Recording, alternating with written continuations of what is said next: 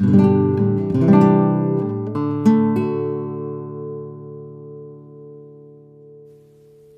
ihr Lieben und herzlich willkommen zum Einschlafen Podcast Episode 443. Ich bin Tobi. Ich lese euch heute endlich mal wieder ein bisschen Kant vor, Immanuel Kant, um genauer zu sein. Und ähm, ja, davor lese ich euch gar keinen Rilke vor, denn ähm, davon hatten wir in den letzten Episoden schon genug. Aber ich erzähle euch noch ein bisschen was, damit ihr abgelenkt seid von euren eigenen Gedanken und besser einschlafen könnt. Ja, und so ganz ohne Meta-Information vorab Davon gab es ja letztes Mal genug. Ähm, höchstens noch die, äh, der kurze Dank an euch alle, mit wie viel Verständnis ihr auf diese Veränderung reagiert habt. Also eher sogar mit Begeisterung als mit Verständnis. Finde ich super. Vielen Dank für das Feedback. Freut mich sehr und vielen Dank für den kleinen Hiccup, den ich letztes Mal in der Technik noch hatte. Am ersten Tag war die Episode nicht äh, verfügbar. Da habe ich einfach einen kleinen Fehler gemacht. Passiert jedem Mal. Und ähm, dann war sie aber auch ganz schnell wieder da. Ähm, ja, statt des vielen Meters erzähle ich euch heute einfach mal, was ich denn über das Pfingstwochenende erlebt habe. Denn es war ein sehr, sehr schönes Wochenende, weil wir spontan etwas unternommen hatten, mit dem ich eigentlich gar nicht geplant hatte. Womit ich geplant hatte, nee, ich habe eigentlich gar nichts richtig geplant. Also, ähm, meine Frau und meine ältere Tochter waren am Pfingstwochenende sowohl am Samstag als auch am Sonntag den ganzen Tag von frühmorgens um neun, halb zehn bis nachts um zwei unterwegs. Und zwar gehen die ganz gerne auf das mittelalterlich Fantasiespektakulum. Das war jetzt am Pfingstwochenende in Hohenweststedt in Schleswig-Holstein mit langer Anreise. Und ja, deswegen waren die auch so lange weg. Die hätten auch eigentlich da übernachten können irgendwie, aber wollten sie nicht.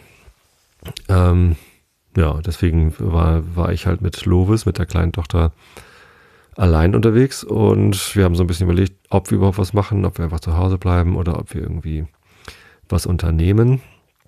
Und da wir im Sommer äh, zu, nicht zu zweit, sondern zu siebt, aber halt ähm, mit, mit anderen Leuten, also mit Nachbarn und seinen zwei Söhnen und mit dem Schwedenauswanderer und seinem Sohn, äh, wollen wir fünf Tage Kanu wandern in Schweden. Da leiht man sich Kanus aus und äh, rudert dann so über die Seen und drumherum sind überall so Anlegestellen, wo man dann auch zelten kann. Campingplätze soll man dazu, glaube ich, eher nicht sagen, weil die halt nicht unbedingt viel Infrastruktur haben. Also da gibt es dann keine Waschhäuser und Küchen oder so, keine Einkaufsläden, sondern einfach nur eine Möglichkeit, sein Zelt aufzustellen. Vielleicht eine Feuerstelle mit Glück ein Donnerbalken oder so. Ähm, das ist also Natur pur und ich bin eigentlich kein Camper. Also ich habe da wenig Erfahrung, ich bin kein, ich bin da nicht bewandert äh, und habe da auch eigentlich nicht so richtig Lust zu. Ich habe aber Lust auf diese Kanuwanderung. Ja, und vor allem mit diesen Leuten, das wird bestimmt total nett. Und so mit dem Kanu da durch die Seen und so wirklich mal fernab von jeglicher Zivilisation zu sein, stelle ich mir sehr schön vor. Das wird bestimmt ein tolles Abenteuer. Aber da gehört halt leider auch dann Zelten dazu. Also da sind halt leider keine Hotels mit guten Betten. das, dann ich, würde ich sogar noch lieber machen. Ähm, nee, ich bin da so ein Bequemlichkeitstyp eher so. Ich mag mein Bett total gerne. Passt ja auch zum Einschlafen-Podcast. Nee, und ähm, da haben wir dann schon, waren schon einkaufen bei Globetrotter und haben da ganz viel Geld gelassen für ein Zelt, das auch groß genug für mich ist. Ich bin ja ähm, ein eher großer Mensch mit 1,96 Meter 97 äh, und großen Füßen und also so ein kleines Wurfzelt, das sich so aufschnappt und dann nach kurzer Zeit wieder kaputt ist, das ist irgendwie nichts für mich. Warum soll es überhaupt lange halten? Ja, wenn ich nicht gerne campe, also die Kinder bauen schon ganz gerne im Garten mal das Zelt auf. Also wir hatten immer mal so Billigzelte von vom lokalen, äh, wie, wie heißen sie? Na, äh, sage ich einfach Aldi. Billigdiscounter, so heißen die. Genau, die haben ja immer mal so Angebote, irgendwie Zelt für 30 Euro, 40 Euro und dann ist das irgendwie so ein, so ein billiger Scheiß, der halt auch ganz schnell kaputt geht. Davon hatten wir schon zwei, drei. Und das ist blöd. Ich wollte stattdessen ein Zelt haben, das wirklich hält, das wirklich äh, qualitativ so hochwertig ist, dass da, ähm, wenn man sachgerecht damit umgeht, nichts irgendwie mit ist. Ähm, und wenn ich schon campen muss, dann möchte ich auch, also nicht nur den Komfort beim Zelt, sondern vor allem den Komfort beim Schlafen. Ich habe auch eine sehr, sehr gute Isomatte gekauft. Meine Tochter hat auch noch eine bekommen. Schlafsäcke hatten wir noch. Ähm, genau. Und das müssten wir, also wollte ich dann ganz gerne, bevor wir das in Schweden in der Wildnis ausprobieren, noch einmal nicht nur hier zu Hause, sondern auch so auf einer kleinen Tour ausprobieren. Deswegen hatte ich gedacht, kann ich doch vielleicht, wenn das Wetter passt, äh, mit ihr irgendwo auf den Campingplatz fahren, vielleicht in Harz oder so und das einfach ausprobieren. Ja, aber so richtig geplant war es eigentlich nicht. Und dann habe ich kurz vor dem Pfingstwochenende, ich glaube am Donnerstag, durch Zufall gesehen, dass da ja auch das Podstock Festival ist. Ja, das Podstock Festival ist so eine kleinere, unabhängige Community-Geschichte. Gibt schon mehrere dieser Pod Podcast-Festivals. Ähm, und dieses hier ist, ist eher so Kategorie klein und gemütlich. Ich kenne die Leute, die sich das ausgedacht haben, dass es das geben sollte, ähm, teilweise persönlich. Also auch von den Teilnehmern kannte ich einige schon. Äh, der Sven Menke ist da beteiligt vom Kulinarikast, ähm, mit dem wir auch so familiär befreundet sind. Und dann sind da etliche Leute aus der Puerto Partida-Ecke. Das ist ja dieser Hörspiel- Podcast, ich weiß gar nicht, wie die Kategorie heißt, ähm, wo ich dann ja auch mal Kandidat war, die Prüfung bestanden habe und dann Bewohner dieser Insel Puerto Partida geworden bin und aus dem Universum, also der Johannes Wolf, äh, den ich auch schon mal auf dem Chaos Communication Congress getroffen hatte und die Becky, die ich da auch getroffen hatte und, und Kati und lauter so Leute aus diesem Universum gehen dahin. Ja, und noch so ein paar, paar mehr, die ich dann eher so über Twitter kannte. Ähm, ich hatte so einen un ungefähren Eindruck, wer da so hingeht, aber ich hatte irgendwie, weiß ich nicht, den Termin nicht im Kopf. Normalerweise kann ich zu solchen Veranstaltungen immer nicht hingehen, weil irgendwas anderes ist. Ich habe einfach zu viele Hobbys. Podcasting ist ja nicht mein einziges Hobby, sondern ähm, ich mache ja auch noch Musik mit einer Band und ich habe irgendwie Sport und naja, es ist irgendwie immer ziemlich viel los. Ähm, so, deswegen hatte ich das damit gar nicht gerechnet, aber dann ergab sich halt jetzt auf einmal diese Möglichkeit, dass Lovis und ich da hätten hinfahren können. Und dann habe ich sie gefragt. Zuerst wollte sie gar nicht, aber dann hat Sven mir noch so ein bisschen geschildert, was denn da alles so für Kinder ist.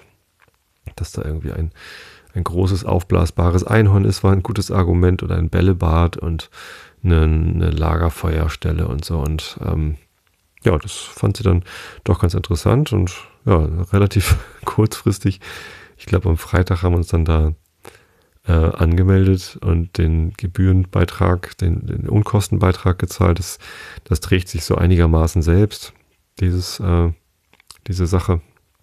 Ähm, und sind dann am Samstag Vormittag dahin gefahren, ein bisschen im Stau gestanden und ja, nach guten zweieinhalb, drei Stunden waren wir dann da. Das findet statt, fand auch letztes Jahr schon statt und dieses Jahr wieder auf der Wernershöhe, heißt das, glaube ich, in der Nähe von Sibbese, kurz hinter Hildesheim von uns aus gesehen. Also fast im Harz von hier aus gesehen. Und ähm, das ist ein bisschen abgelegen da, ähm, so auf so einem kleinen Hügel. Eine Kulturherberge. Genau, es gibt da äh, Gebäude, wo dann irgendwie ein großer Raum drin ist, wo dann irgendwie auch eine Bühne drin war, wo man dann, so, das war eine so von der Veranstaltungsbühne. Dann gab es auch Schlafsäle, also viele haben dann auch da drin geschlafen. Ein paar mehr Räume, eine große Küche ähm, und natürlich irgendwie Sanitäreinrichtungen, Duschen und so. Weil es eben eine Kulturherberge ist. Aber draußen rum konnte man eben auch zelten und wir hatten uns mit Zelt angemeldet und konnten dann da unser Zelt ausprobieren. Und tatsächlich, äh, um, um das kurz abzuschließen, Camping kann ich jetzt. Ich weiß, dass ich das Zelt so hinstellen sollte, dass morgens nicht die Sonne drauf knallt. Das habe ich schmerzhaft gelernt, da habe ich nicht drüber nachgedacht. Einfach irgendwo hingestellt, wo es irgendwie so von der Organisation her ganz praktisch äh, schien. Und morgens um acht wurden wir da gegrillt, weil die Sonne da drauf geknallt hat und das war furchtbar warm. Ansonsten, äh, Zelt funktioniert, die Matratze war bequem genug. Ich glaube, ich werde auch die fünf Nächte in Schweden überleben.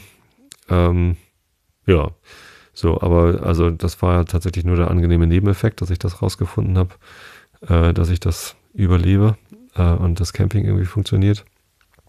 Ähm, was wir nicht gelernt haben, ist, wie denn das dann ist, dort in Schweden zu kochen, denn ähm, dafür gab es da einfach mal so überhaupt keinen Anlass, den Campingkocher anzumachen. Wir hatten den mit, aber ich habe ihn nicht mal irgendwie raus. Doch, ich habe ihn einmal rausgeholt äh, zum Schlagzeugspielen auf den Töpfen, aber ähm, mehr auch nicht. So, ähm, das ist eine Community-Veranstaltung und entsprechend sind auch alle irgendwie dazu aufgerufen oder es wird allen ermöglicht, äh, sich zu beteiligen. Und es gibt halt ganz viele, die dann sagen, äh, ähm, ja, ich möchte gerne äh, beim Team Verpflegung helfen und in der Küche mitmachen, äh, Sachen kochen.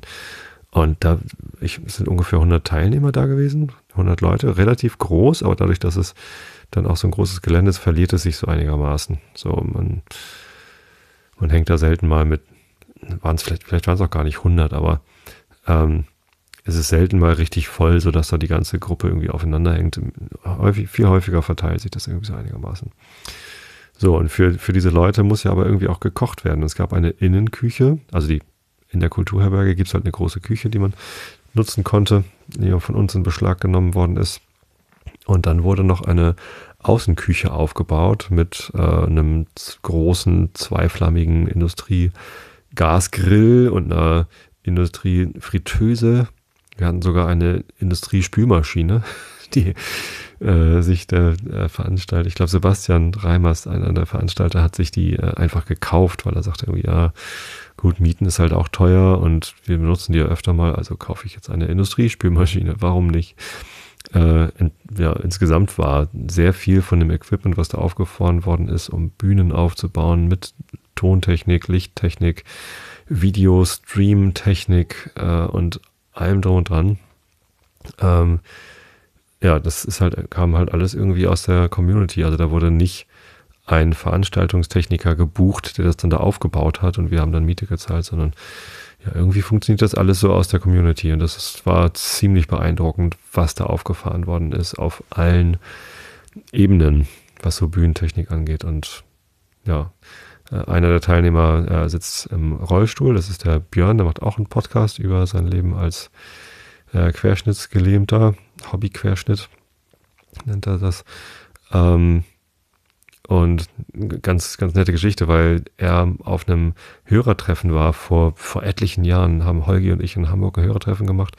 Und da war er auch, da haben wir uns kennengelernt und er hatte mich irgendwie angesprochen, wie denn das mit dem Podcasting so geht. Und habe gesagt, ja, ist ganz einfach, machst du das, machst du das. Und seitdem macht er diesen Podcast und er spricht mich halt immer noch wieder drauf an, so dass ich so der äh, ja, Startpunkt gewesen sei, dass, dass es ihm halt geholfen hätte, mit mir darüber zu reden, um dann auch äh, loszulegen. Und ja, ist eine schöne Geschichte, dass er da jetzt irgendwie auch in dieser Community so verankert ist. Ähm, genau, und äh, weil eben Rollstuhlfahrer da ist, werden natürlich auch Rampen gebaut, dass er überall gut hoch und runter kommt und so. Und das, ähm, das funktioniert irgendwie einfach alles. Alles wird irgendwie möglich gemacht und nichts ist irgendwie komisch. Es ist eine sehr, sehr offene, sehr äh, ja, wertschätzende Gemeinschaft, wo irgendwie, also der, der häufigste Spruch ist, glaube ich, da regt mich ja schon die Frage auf. Also ich wurde dann eingeladen, bei einer ähm, Heavy Metal Show mitzumachen.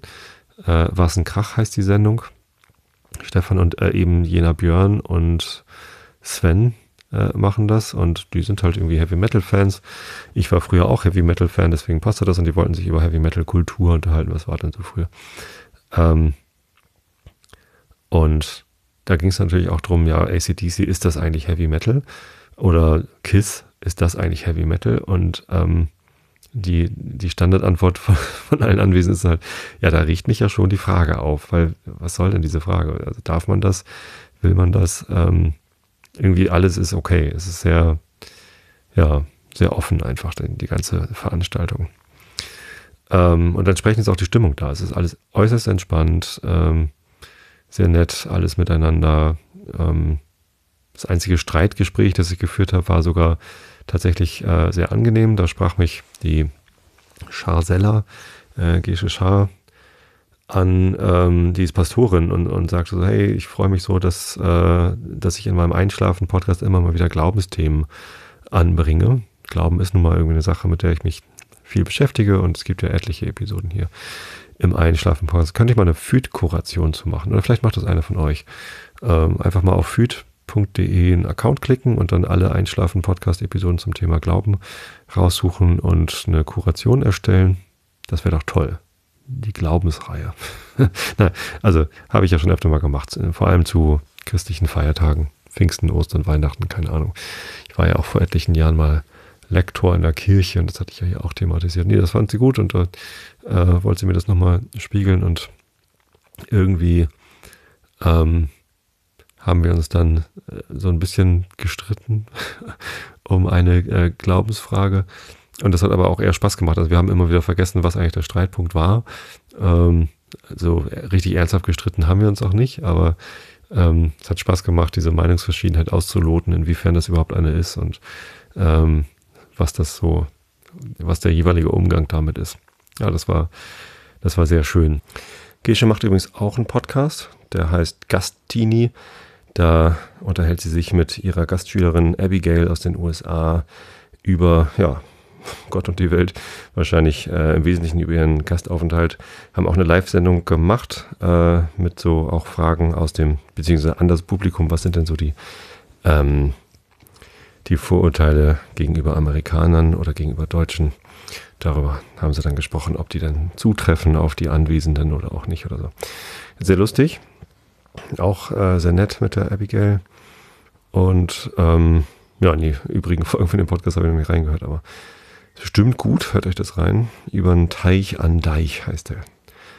Hashtag Gastini. Ja, ich habe ihr dann die Glaubenssache empfohlen, den Podcast von Alexander Waschkau und Eduard von Habsburg. Kann ich euch auch empfehlen, wenn ihr euch für Glaubenssachen interessiert. Der Alexander Waschkau und Eduard von Habsburg machen da eine ganz tolle Gesprächsreise mit leider viel zu seltenen Episoden. Aber wenn man Botschafter des Staates Ungarn am Vatikan ist, hat man wahrscheinlich auch einfach wenig Zeit. Ja, und Alexander hat ja auch wenig Zeit. Mal so gesehen. Genau, die waren beide leider, leider beide nicht auf dem Podstock. Ähm, ja, was gab es da noch? Also Essen wollte ich ja gerade erzählen. Also äh, rund um die Uhr gab es eigentlich so das Eternal Buffet, nannte sich das dann. Äh, eigentlich gab es immer irgendwo was zu essen. Ähm, großes Frühstück aufgefahren mit allen möglichen Brötchen und Belegen und Bacon und ganz viel vegane Geschichten und sonst wie war es dann äh, Mittagessen. Da wurde dann immer schon auch der Grill angeworfen und die Fritteuse. Ähm, am Sonntag gab es den großen äh, Chili Wettbewerb. Ach so, das war glaube ich dann beim Abendessen, aber ich weiß es gar nicht mehr. Also das verschwimmt auch alles so. Es geht auch alles ineinander über. Es ist immer irgendwas da. Ähm, und alles sehr, sehr lecker und auch äh, interessant, ähm, was dann da in den Küchen so alles hergestellt wird. Und eben auch alles so, ja, äh, wir machen das jetzt und wenn man reingeht und Lust hat mitzuschnibbeln, dann schnibbelt man halt mit. Also da ist nichts mit, äh, man muss sich hier anmelden. Also man kann sich anmelden, aber wenn dann der, der sich angemeldet hat, vielleicht gerade in Sauer liegt, weil er irgendwie ähm, zu viel getrunken hatte, äh, dann äh, springt halt irgendwer anders ein. Läuft irgendwie alles. Genau, es gibt ein großes Orga-Team, sieben, acht Leute oder so, die sich halt darum kümmern, dass überall immer irgendwas passiert, die Fragen beantworten und so weiter. Ja, und apropos in Sauer liegen, ähm, einer der Teilnehmer ist Udo Sauer, auch aus der Puerto Partida-Ecke bekannt, macht auch ein paar eigene Sachen, glaube ich. Ähm, spüre den Ball, mein, mein Tischtennislehrer, genau. Ähm, und der äh, ist verantwortlich für die Bar. Draußen steht ein, ein Schiffsrumpf, wo eine Bar drin eingebaut ist und man kann so ähm, ja, sich um das Schiff herumstellen und äh, in der Mitte ist dann halt eine Bar und Udo macht halt gerne Cocktails und dann steht er halt abends da und macht Cocktails. Und wenn gerade keiner da ist, der sie trinken will, dann rennt er rum und verteilt sie. Also Udo kam mehrfach bei mir an und fragte mich, möchtest du eine Whisky Sour von Udo Sauer? extrem lustig und, äh, und schön. Und der war auch tatsächlich lecker. Ich trinke ja normalerweise Whisky pur, aber als Whisky Sour ähm, war das auch echt lecker. Genau, hat dann noch so ein Basilikumkram gehabt und irgendwann stand ich dann auch in der Bar und habe ähm, White Russian gemacht. Das ist ein Cocktail, den ich, den ich kann. Da braucht man auch keinen Shaker für. Man kippt einfach Wodka und Kalua und Milch und Eis in einen Becher und fertig. So. Ähm, ja, also alles sehr offen, alles sehr nett und, und klasse. Und es gibt eben auch ähm, zwei Bühnen, eine Innenbühne, eine Außenbühne und noch ähm, zwei, drei Räume äh, mit, mit einem Podcast-Tisch, wo man einfach jederzeit Podcasts aufnehmen kann. Ähm, oder einfach draußen sich irgendwie verabreden. Und dann gibt es halt ein Programm, also so Barcamp-mäßig, jeder kann was vorschlagen. Und dann finden da halt diese Sessions statt. Also wenn, wenn, wenn das irgendwie alles so passt. Ja. Und dieses Programm, das war durchaus auch ähm, äußerst vielseitig und abwechslungsreich und interessant. Ich habe zum Beispiel, also die erste Session, die ich mitgemacht habe, war äh, Brotbacken aus Sauerteig mit Claudia. Und Claudia hatte Sauerteig mitgebracht. Und äh, erste Abend, also die, in der ersten Session haben wir dann, hat sie dann erklärt, wie das alles geht, was Sauerteig ist, ein paar Fragen beantwortet und dann haben wir als erstes mal den Sauerteig ähm, angesetzt. Also es ist ja so, dass man immer einen Ansatz äh, im Kühlschrank hat und mindestens alle zwei Wochen muss man dann einen neuen Sauerteig ansetzen. Das heißt, wir haben an diesem ersten Tag einfach nur 50 Gramm Mehl, 50 Gramm Wasser, ein Teelöffel Sauerteig verrühren und fertig. Also das war die ganze Aktivität für den Samstag. Und dann am, am Sonntag früh haben wir den, äh, den Sauerteig für das, also den Brotteig angesetzt. Und der musste dann natürlich auch erstmal gehen oder sich entwickeln oder keine Ahnung, was er dann tut. Äh, dann musste er nochmal umgelagert werden in einen Gärkorb. Und ja, also es zog sich halt eigentlich durch das ganze Potstock. Am Sonntagabend haben wir dann äh, draußen den großen Lehmbackofen angefeuert mit Holz. Also der lief sowieso auch Großteil der Zeit, weil da ständig Pizza und Flammkuchen und was weiß ich nicht alles gebacken worden ist. Es gab einen großen Hefeteig, also wirklich so eine große Kiste, äh, wo der Hefebernd drin war. Der stand dann immer im, äh, im Kühlwagen. Es gab natürlich einen Kühlwagen.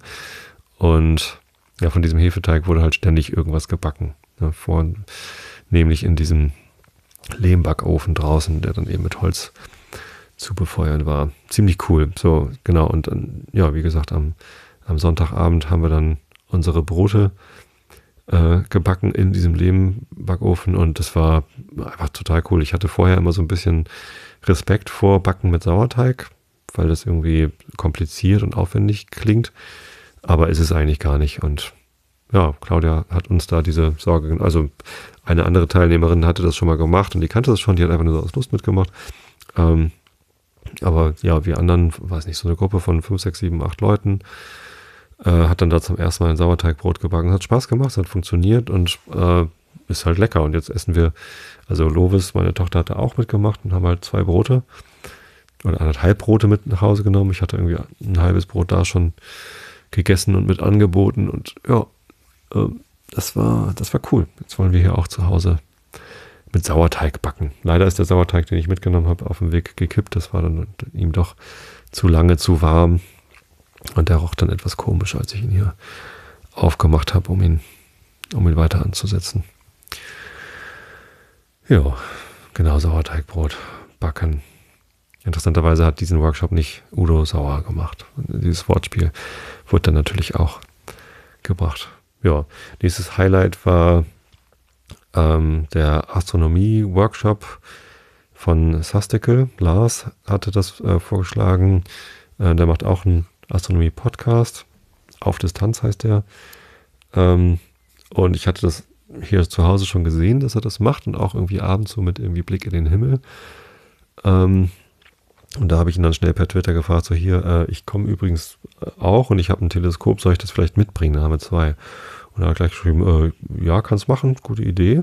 Und dann sind wir halt mit zwei Teleskopen und irgendwie 12, 13 Leuten ähm, am späten Samstagabend so ein bisschen von der Jugendkulturherberge da, nee, nicht Jugend, äh, Kulturherberge, äh, den, den Weg hochgegangen, ein bisschen den Hügel hoch und standen dann da auf so einer relativ freien Fläche und hatten einen wunderbaren Sternenhimmel. Ähm, es wurde dann halt so langsam auch ähm, dunkel. Leider ist ja jetzt irgendwie so Anfang Juni keine richtige Nacht mehr, sondern die Abenddämmerung geht so direkt in die Morgendämmerung über. So eine richtige Dunkelheit gibt es dann nicht. Und äh, es war auch der Mond am Himmel, zwar nur als Sichel, so ein Viertelmond irgendwie, aber der war ganz schön hell und trotzdem war es da so dunkel, also sehr wenig Lichtverschmutzung und, und relativ gute so ja, Wetterbedingungen, dass man echt viel sehen konnte. So, und der Lars hat richtig gut Ahnung. Also er bezeichnet sich so als Hobby, Hobby-Astronom, aber der kannte sehr, sehr viele Konstellationen, also Sternbilder und kannte sich sehr gut aus, wusste, wo irgendwelche Ringnebel zu finden sind und so. Also er wusste deutlich mehr über Astronomie als ich. Ich habe so ja meine paar Sachen, die ich kenne und die ich mir gerne anschaue. Ähm, tatsächlich kam also der, der, der Jupiter stand eh schon am Himmel, als wir angefangen haben, und dann kam auch der Saturn. Konnten wir den noch angucken. Merkur hatten wir leider verpasst. Ähm, da waren wir zu spät unterwegs. Und ja, Saturn durch ein Teleskop angucken ist halt immer cool. Ja, und viele von den Teilnehmern da hatten halt auch noch nie durch ein Teleskop durchgeguckt und für die war das echt ein Highlight, die Ringe vom Saturn zu sehen oder die vier galileischen Monde vom Jupiter und man konnte auch zwei von den Wolkenbändern sehen vom Jupiter, zumindest durch Lars Teleskop. Äh, bei meinem leider nur eins, aber also ein Wolkenband, aber immerhin. So, man konnte was erkennen, Strukturen erkennen auf fernen Planeten ist ja schon, schon mal ganz geil. So. Und ja, das ist irgendwie äh, ein sehr schöner Ausflug gewesen. Habe ich auch wieder einiges lernen können. Am nächsten Tag hat Lars dann noch eine Ask Me Anything, ähm, also eine Fragerunde gemacht, wo er so ein bisschen Hobbyastronomie erklärt hat. Da habe ich dann wieder ein bisschen was über äh, Astronomie-Tools gelernt. Es gibt da äh, das Stellarium, das ist so ein ja, Planetariumsprogramm für einen Rechner, kann man sich einfach installieren. Und da habe ich immer mal so Bedienschwierigkeiten. Also ich habe das auch, aber ich benutze das ungern, weil ich immer, ach, ich vergesse immer, wie das genau funktioniert und ähm, ja, ein paar Tipps bekommen. Nee, schöne Sache. Genau, dann gab es noch eine Session, die ich sehr interessant fand. Äh, die hieß Der Helmholtz-Resonator in der Musik. Und Helmholtz-Resonator, das klang ja so nach Wissenschaft und äh, Resonator ist ja auch der Wissenschaftspodcast, den Holgi macht für die Helmholtz-Gemeinschaft. Und ich hatte auch eine grobe Vorstellung, was ein Helmholtz-Resonator ist. Ähm, und da bin ich dann hin und ich war irgendwie so ein paar Minuten zu spät. Die hatten schon angefangen. Und das war das skurrilste Bild, was ich seit langem gesehen habe. Und zwar äh, saßen dann da äh, relativ viele Leute. Das war eine große Session mit irgendwie 15, 20 Leuten. Und alle hatten, hielten sich ein komisches Plastikteil in den Mund, äh, ins Gesicht und, und kamen komische Geräusche. Ähm, und letztendlich bestand die gesamte Session daraus, dass ähm, äh, Renthron, der, der Veranstalter, irgendwie, weiß nicht, was weiß ich, 50 Nasenflöten bei Thomann gekauft hatte. Und wir halt gemeinsam gelernt haben, Nasenflöte zu spielen. Das ist ein Musikinstrument, ja, wie der Name schon sagt, ist eine Flöte, aber man bläst nicht mit dem Mund rein, sondern mit der Nase. Und der Mund äh, spielt auch eine Rolle, aber eben nur als Resonator, also als Resonanzkörper. Und das ist extrem lustig, das zu spielen. Das ist sehr albern. Es klingt äh, schräg und ja, ähm, hat halt Spaß gemacht. Am Anfang haben wir uns alle irgendwie abgekrampft, überhaupt irgendwas Sinnvolles rauszubekommen. Und am Ende haben wir ganz grandiose Interpretationen vom Game of Thrones Theme oder was weiß ich, irgendwie haben wir Fernsehserien, Titelmelodien nachgespielt, Akte X und Smash und was weiß ich was alles. Und ja, es war sehr, sehr amüsant. Wir haben es echt, also so, so viel gelacht habe ich lange nicht, äh, weil, das, weil das wirklich sehr albern ist. Er hat richtig großartigen Spaß gemacht. Ähm, und jetzt habe ich eine Nasenflöte. Ich werde sie jetzt lieber nicht spielen, sonst seid ihr alle wach und lacht euch schlapp und könnt nicht wieder einschlafen. Ja, genau, es war sehr schön. Dann war da noch eine Session mit Becky und Jule vom Früh-Podcast. Frauen reden über Fußball. Und die fand zufällig genau zu der Zeit statt, als Deutschland das Auftaktspiel bei der Frauenfußball-WM gespielt hat. Und das war auch total nett. Ich mache ja auch einen Fußball-Podcast. Man könnte fast behaupten, dass der Einschlafen-Podcast auch ein Fußball-Podcast ist, so häufig wie ich hier über den FC St. Pauli berichte. Aber ich bin ja auch beim Millanton beteiligt und ähm, das war nett. äh, die beiden dann da zu treffen, äh, ein bisschen auszutauschen und die Session, die sie gemacht haben, die war auch ganz gut. Ähm, paar Fragen gestellt. Also es war auch so eine Ask Us Anything Folge, also fragt, fragt uns irgendwas und ähm, ja, das war ganz lustig. Ich hatte auch ein paar Fragen gestellt. Ähm, aber also es waren eben auch Leute da, die ja so, so gar keine Ahnung von Fußball haben. Und es war auch explizit die Aufforderung, wenn euch irgendwas zu peinlich ist, was ihr nicht wisst, äh, fragt es uns einfach und wir gucken mal, ob wir die Antwort kennen. Und die lustigste Frage war eigentlich, was ist eigentlich Tiki-Taka-Fußball? äh, genau, so ein Begriff, den man mal irgendwo aufschnappen kann. Ähm, und ja, konnten sie erklären und äh, war sehr auch, ja, teilweise lustig, teilweise sehr ernste Folge, weil Frauenfußball natürlich auch ein Thema ist, ähm, wo die strukturelle Unterdrückung der Frau in der Gesellschaft äh, auch sichtbar wird und zutage kommt. Ähm, und das ist natürlich irgendwie dann ja ein, ein sehr ernstes Thema, aber umso wichtiger, dass das dann eben auch mal zu, zur Sprache kommt. Ähm, jetzt überlege ich gerade so, was war noch so? Also, es waren wirklich so im, im Stundentakt gab es da irgendwie interessante Sessions.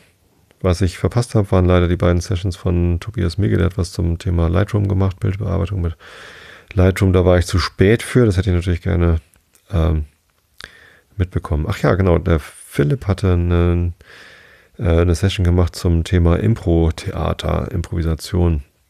Und das macht auch mal ziemlich viel Laune. Wir haben äh, bei uns in der Firma auch einen Impro-Lehrer. Äh, also der, der ist auch Coach und coacht eine Impro-Gruppe und der macht das dann bei uns an, äh, in der Firma auch äh, ab und zu, wenn sich die Gelegenheit ergibt, äh, mal einen Workshop anzubieten für ein halbes Stündchen. Und das heißt, die eine Übung kannte ich auch schon, dieses Ja und. Ja, genau, und heißt die Übung. Äh, da ja, steht man im Kreis und oder macht es irgendwie zu zweit äh, und jemand sagt was und der andere sagt ja und und baut darauf auf. Also eine konstruktive Art. Ist nämlich viel einfacher, äh, ja, aber oder nein zu sagen und dann irgendwas, eine eigene Idee zu nennen, auf die Ideen von anderen aufzubauen, ist ein bisschen schwieriger und mit ja und kann man das ganz gut üben. Dann haben wir noch eine andere Übung gemacht, die ich noch nicht kannte, glaube ich, zumindest habe ich mich nicht dran erinnert. Äh, so eine Konzentrationsübung eigentlich und die war auch sehr, sehr irre.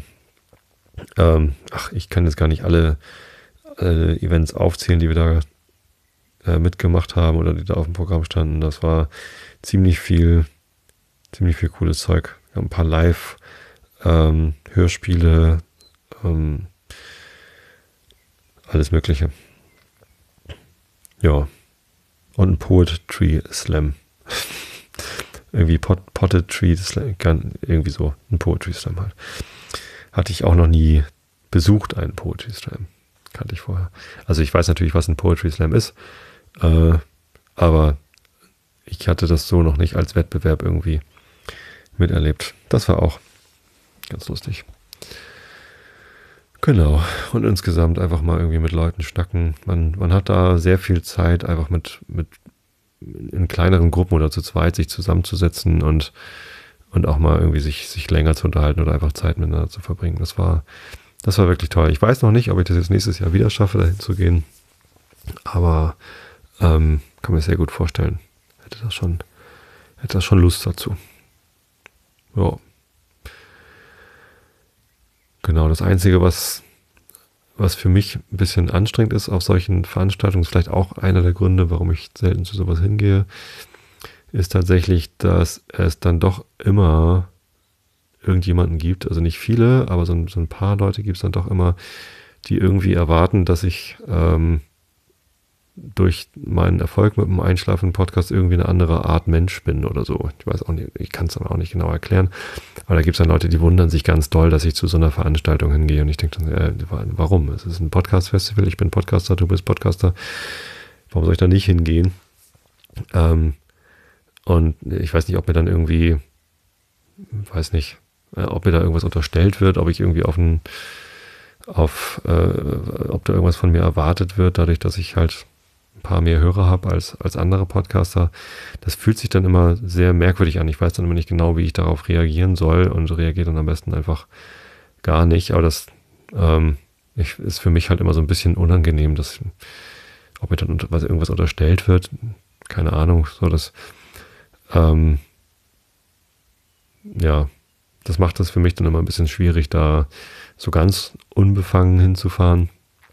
Ähm, das gibt sich dann aber auch immer. Also ich hoffe nicht, dass ich irgendwie in dieser Community als arrogant gelte oder sonst was. Ich meine, jeder hat so seine Marotten und dass ich von einigen Leuten für arrogant gehalten werde, äh, ja, mag sein so, dass es halt Leute gibt, die mich so interpretieren. Ich selber hoffe das eigentlich nicht. ähm, aber ja, keine Ahnung. So, das ist dann immer, weiß ich nicht. Ich glaube, das ist dann eher so die, die Annahme, dass jemand, der, der halt ein bisschen mehr erfolgreich, äh, also mehr Hörer hat als andere, dass der dann irgendwie gleich ähm, überheblich oder weiß ich nicht, ähm, eine andere Rolle spielt auf so einer Sa Sache. Ähm, das ist aber, das sind wirklich immer nur ganz wenige, ähm, die irgendwie da komische Erwartungen haben.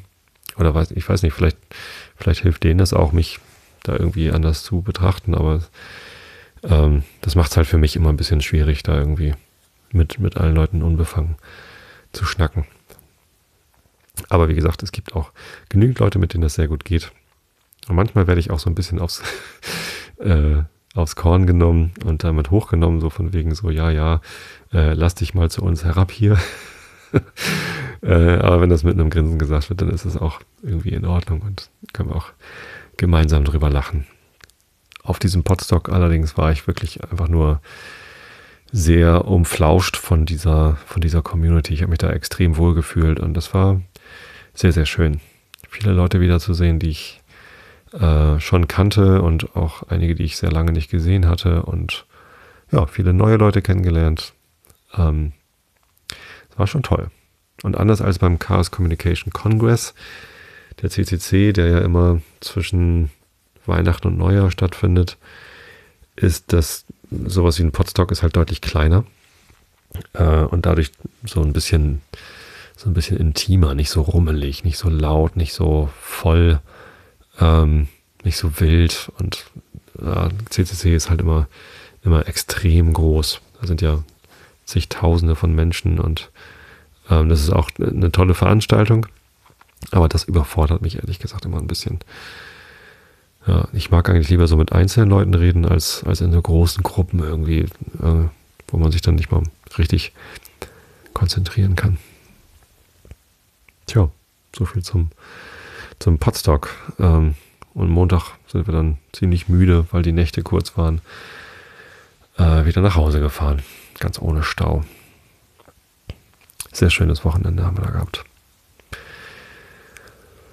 Und ich kann selten. Gut. So, dann lese ich euch noch ein bisschen Immanuel Kant vor. Wir sind. Fällt mir gerade auf, ich habe in der letzten Episode vor dem Rilke-Vorlesen gar nicht Augen zu und zugehört gesagt. Hm, achteinhalb Jahre Reden aufgebaut und dann einfach vergessen, weil man mal irgendwas anders macht. Sei es drum. Oh, da habe ich meine Lesebrille gar nicht auf. Mal gucken, ob das hier mit dieser geht. Wir sind auf Seite 558 im zweiten Band der Kritik der reinen Vernunft. In der B-Ausgabe ist das Seite 662 im Kapitel Transzendentale Dialektik, Kritik aller Theologie. Ach, das passt ja zu meinem Gespräch, das ich mit der Gesche gehabt habe. Schöne Grüße. Ähm, genau. Und ich weiß jetzt gar nicht mehr genau, bei welchem Absatz ich aufgehört hatte. Ich glaube, dort. Fange ich da einfach an. Augen zu und zugehört. Wenn man nun vom Dasein der Dinge in der Welt auf ihre Ursache. Ach, warte, ich muss M drücken, habe ich vergessen. Alles muss man alleine machen hier. Nochmal. Wenn man nun vom Dasein der Dinge in der Welt auf ihre Ursache schließt, so gehört dieses nicht zum natürlichen, sondern zum spekulativen Vernunftgebrauch, weil jener nicht die Dinge selbst, Substanzen, sondern nur das, was geschieht, also ihre Zustände als empirisch zufällig, auf irgendeine Ursache bezieht. dass die Substanz selbst, die Materie, vom äh, dem Dasein nach zufällig sei, würde ein bloß spekulatives Vernunfterkenntnis sein müssen. Wenn aber auch nur von der Form der Welt, der Art ihrer äh, Verbindung und dem Wechsel derselben die Rede wäre, ich wollte aber daraus auf eine Ursache schließen, die von der Welt gänzlich unterschieden ist. So würde dieses wiederum ein Urteil der bloß spekulativen Vernunft sein, weil der Gegenstand hier gar kein Objekt einer möglichen Erfahrung ist. Aber als denn würde der Grundsatz der Kausalität, der nur innerhalb dem Felde der Erfahrung gilt und außerhalb demselben ohne Gebrauch, ja selbst ohne Bedeutung ist, von seiner Bestimmung gänzlich abgebracht. Ich behaupte nun, dass alle Versuche eines bloß spekulativen Gebrauchs der Vernunft in Ansehung der Theologie gänzlich fruchtlos und ihrer inneren Beschaffenheit nach null und nichtig sind, dass aber die Prinzipien ihres Naturgebrauchs ganz und gar auf keine Theologie führen. Folglich, wenn man nicht moralische Gesetze zum Grunde legt oder zum Leitfaden braucht, es überall keine Theologie der Vernunft geben könne. Denn alle synthetischen Grundsätze des Verstandes sind von immanentem Gebrauch zu der Erkenntnis eines höchsten Wesens aber wird ein transzendentaler Gebrauch derselben erfordert, wozu unser Verstand gar nicht ausgerüstet ist soll das empirisch gültige Gesetz der Kausalität zum, zu, dem, zu dem Urwesen führen, so müsste dieses in die Kette der Gegenstände der Erfahrung mitgehören, als denn wäre es aber, wie alle Erscheinungen, selbst wiederum bedingt. Erlaubte man aber auch den Sprung über die Grenze der Erfahrung hinaus, vermittels des dynamischen Gesetzes der Beziehung der Wirkung auf ihre Ursachen, welchen Begriff kann uns dieses Verfahren verschaffen? Bei weitem keinen Begriff von einem höchsten Wesen, weil uns Erfahrung niemals die größte aller möglichen Wirkungen, als welche das Zeugnis von ihrer Ursache ablegen soll, darreicht. Soll es uns erlaubt sein, bloß um in unserer Vernunft nichts Leeres übrig zu lassen, diesen Mangel der völligen Bestimmung durch eine bloße Idee der höchsten Vollkommenheit und ursprünglichen Notwendigkeit auszufüllen, so kann dieses zwar aus Gunst eingeräumt, aber nicht aus dem Rechte eines unwiderstehlichen Beweises gefordert werden.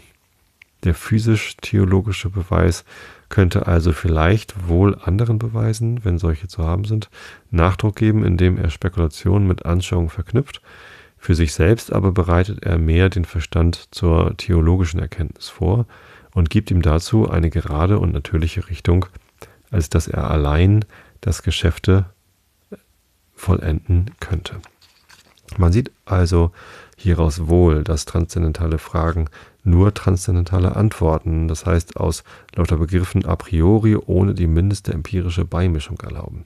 Die Frage ist hier aber offenbar synthetisch und verlangt eine Erweiterung unserer Erkenntnis über alle Grenzen der Erfahrung hinaus, nämlich zu dem Dasein eines Wesens, das unserer bloßen Idee entsprechen soll, der niemals irgendeine Erfahrung gleichkommen kann. Nun ist nach unseren obigen Beweisen alle synthetische Erkenntnis a priori nur dadurch möglich, dass sie die formalen Bedingungen einer möglichen Erfahrung ausdrückt und alle Grundsätze sind also nur von immanenter Gültigkeit, das heißt, sie beziehen sich lediglich auf Gegenstände empirischer Erkenntnis oder Erscheinungen. Also wird auch durch transzendentales Verfahren in Absicht auf die Theologie ein bloß äh, einer bloß spekulativen Vernunft nichts ausgerichtet. Wollte man aber lieber alle obigen Beweise der Analytik in Zweifel ziehen, als sich die Überredung von dem Gewichte der so lange gebrauchten Beweisgründe rauben lassen, so kann man sich doch nicht verweigern, der Aufforderung ein Genüge zu tun, wenn ich verlange, man solle sich wenigstens darüber rechtfertigen, wie und vermittels welcher Erleuchtung man sich denn getraue, alle mögliche Erfahrung durch die Macht bloßer Ideen zu überfliegen.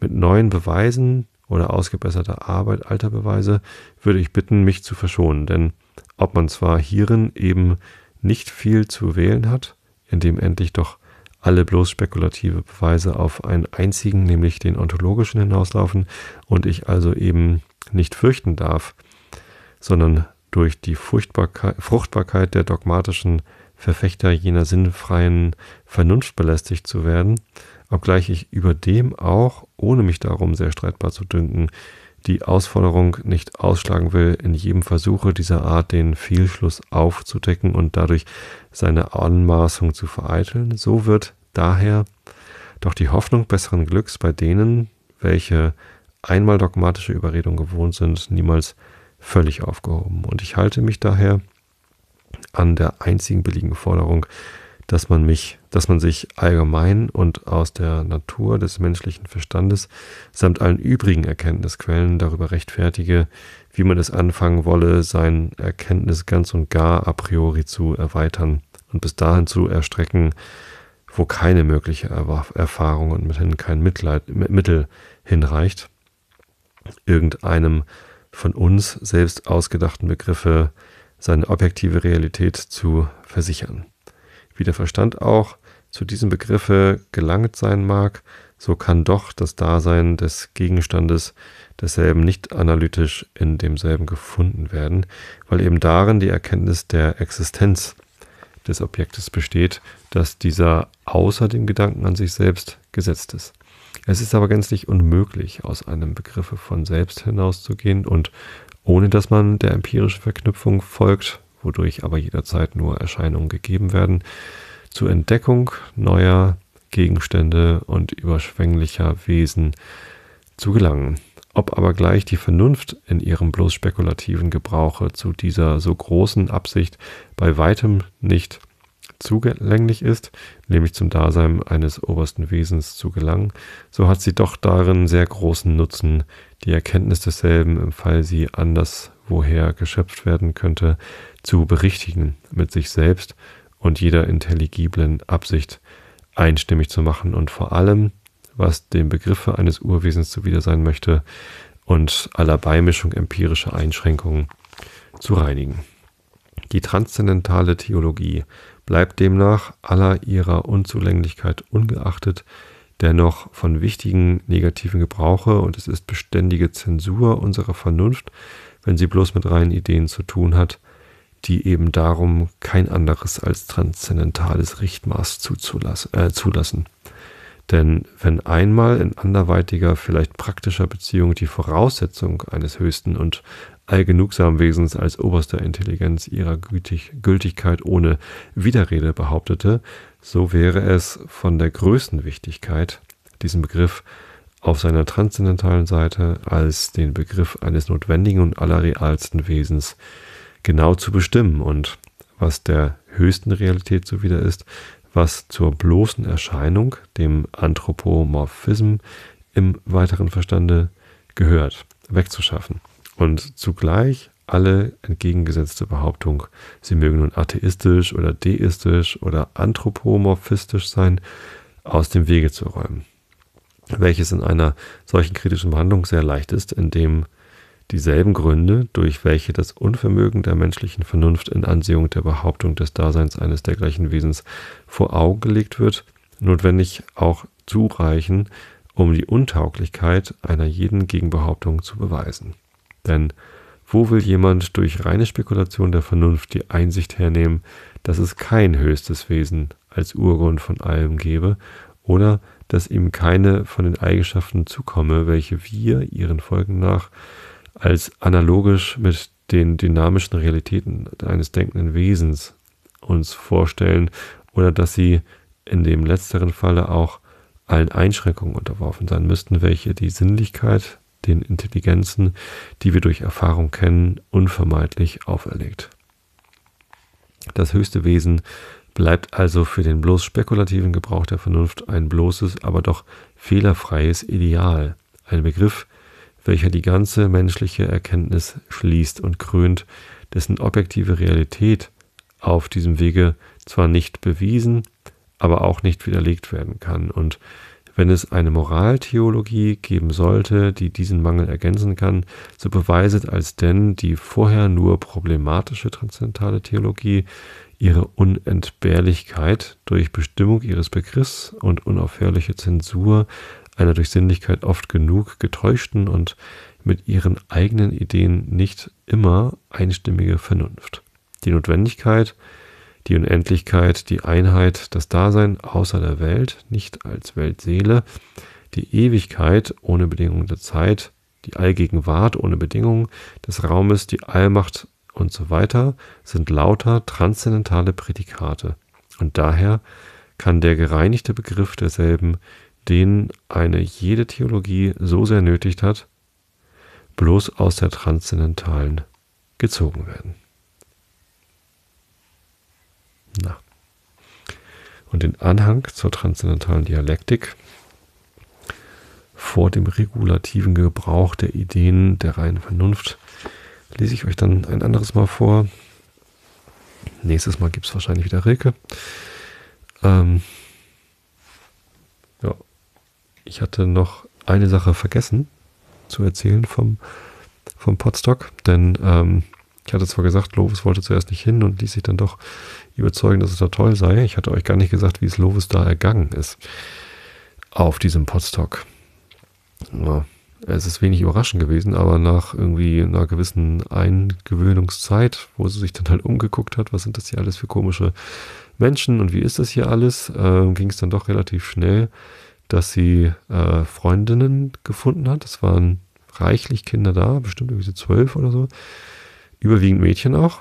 Waren ein paar Jungs dabei, aber irgendwie eine große Gruppe Mädels. Ähm, und ja, also das, das ging relativ fix, dass sie da irgendwie Kontakt aufgenommen hat. Ich weiß nicht, ob es damit zusammenhängt, dass die Eltern, die dort hingegangen sind, halt auch alle so ein sehr offenes Mindset hatten, dass das dann irgendwie auf die Kinder übergeschlagen ist und dass die halt auch sehr, also ich habe da keine Reibereien, keine Ausschlüsse und nie, wir spielen nicht mit dir oder so. Sowas, sowas gab es halt gar nicht, sondern alle haben mit allen gespielt und es war irgendwie sehr, sehr toll, irgendwie zu sehen, wie, wie da Freundschaften geschlossen worden sind und äh, wie sie dann zusammen alles Spaß gehabt haben. Also ich hatte eher Probleme, Lovis da wieder loszueisen, als ich sie am Sonntag gefragt hatte, ob wir dann am Sonntag, also es war noch nicht ganz klar, wie lange wir dort bleiben, ob wir am Sonntag schon abreisen oder erst am Montag. Da war völlig klar, äh, lass uns bitte erst am Dienstag fahren. und naja, wir sind natürlich trotzdem am Montag, aber es war echt schwierig, äh, das dann zu argumentieren. Auch so ihre ihre beste Freundin, die, die, sie da, also mit der sie am meisten gemacht hat, die ist dann schon vor uns gefahren. Das war aber gar kein Problem, weil ja noch ganz viele andere da waren, mit denen sie auch sich sehr gut verstanden hat. Und tja, ähm, das war für uns beide ein, ein sehr, sehr schönes Wochenende.